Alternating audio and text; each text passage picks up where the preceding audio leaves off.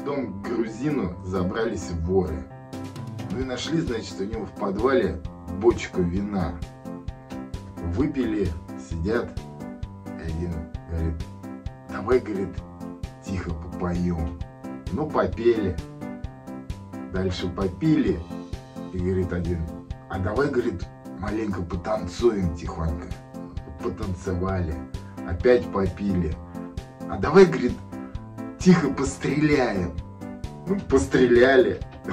Просыпается хозяин, прибегает в подвал и орет. Вах, вах, в доме гости, а я сплю.